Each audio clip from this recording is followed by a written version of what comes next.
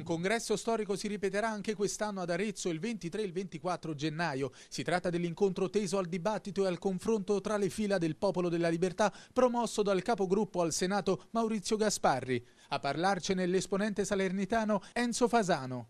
Consisterà nella prima verifica del lavoro svolto dal partito che come sapete non ha nemmeno ancora un anno di vita eh, alla vigilia di una sfida importante che non è solo l'elezione eh, del governatore della Campania ma del governatore di tantissime regioni, quindi eh, di tutta l'Italia. È il primo eh, tagliando, riteniamo noi, che il popolo delle libertà stacca in vista di questa sfida ed è opportuno che eh, i territori portino a questo appuntamento un contributo di specificità. Presidente, quali tratti salienti della conferenza di oggi?